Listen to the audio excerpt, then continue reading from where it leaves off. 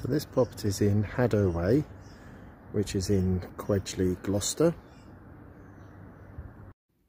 As we come in through the front door, you're into a small entrance hall which has access to the lounge, the converted garage and also a staircase to the first floor.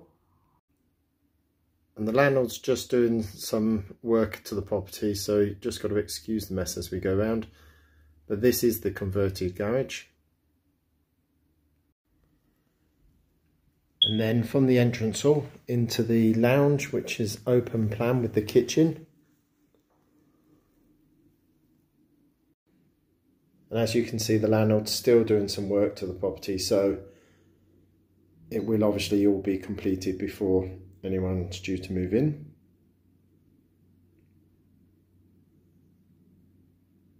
And up on the first floor landing there's access to the three bedrooms and the family bathroom this is bedroom number one, and this one has a window that faces the rear. And bedroom number two has a window that faces the front aspect. And again, this is a double bedroom. Also, bedroom number three window faces the front. And this is a good size single. And then the family bathroom with shower above the bath.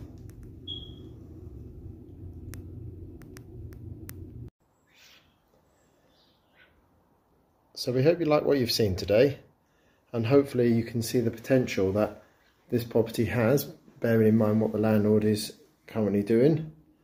And if you'd like to have a look inside, please call the office on 01452 541 561. Thanks very much for watching.